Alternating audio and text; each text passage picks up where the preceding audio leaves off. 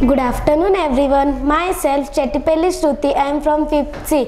My topic name is rainwater harvesting. Rainwater harvesting is a type of harvest in which raindrops are collected and stored for the future rather than to run off.